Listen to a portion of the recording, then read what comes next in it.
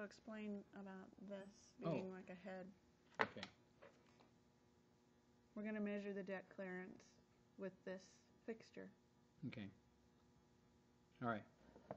This is a fixture we've made for measuring deck clearance. Very rigid. And it's We've got a similar to a Blanchard- head as opposed Right, to right.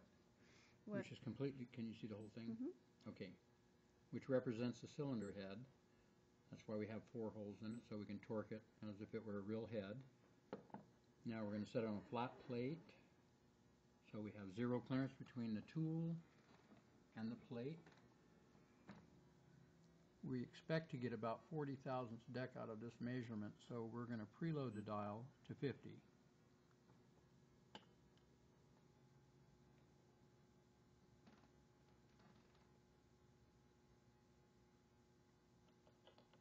For ease of measuring.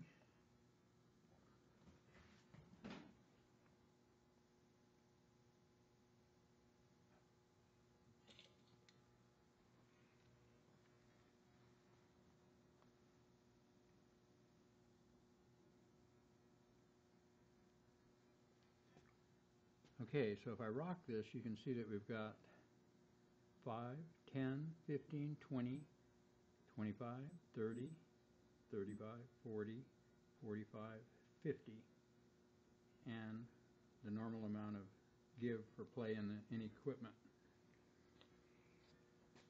We're going to put it on the head or on the block.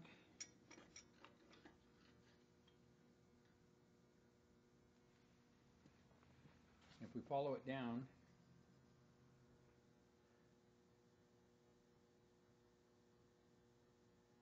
we can see that it didn't even come back to zero yet.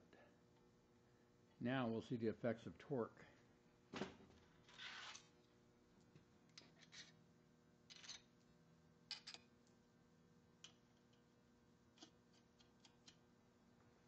so this is the difference between this fixture and what somebody else does is that you're torquing them all evenly mimicking a head as opposed to just a bar that would go across and Right, some kinda people use a bar straight across the, the deck, and by doing that, you're only squashing a portion of the gasket, and you can actually damage the gasket or break a barrel sometimes. and you're not gonna get an accurate reading. Right, the reading will be off. So, we torque.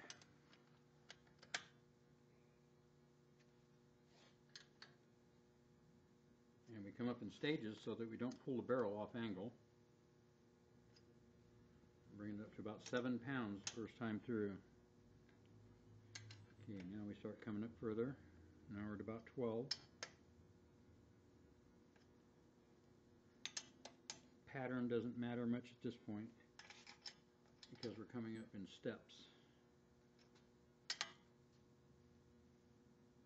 We come up to 18 pounds, that's what we torque the head to.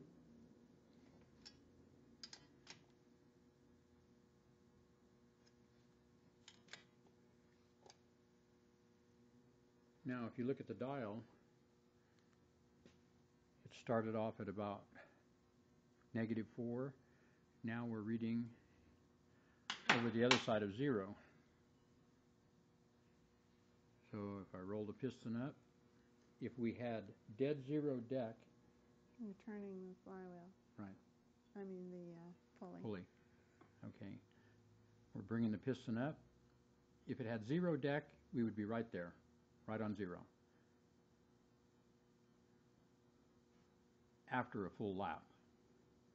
But we have not even achieved a full lap here. So we know to count backwards, 5, 10, 15, 20, 25, then you go on the other side of 25, 30, 35, 40, 45, 47 thousandths. I've had this fixture on and off of here three or four times already, and it has repeated within a half a thousand. So that is a guarantee of a good, accurate piece of equipment to measure something. So this engine has 47 thousandth deck, perfect. We've got 40 thousandths for the actual growth of the rod and piston, and we've got 7 thousandths for carbon buildup. Should be a good deal.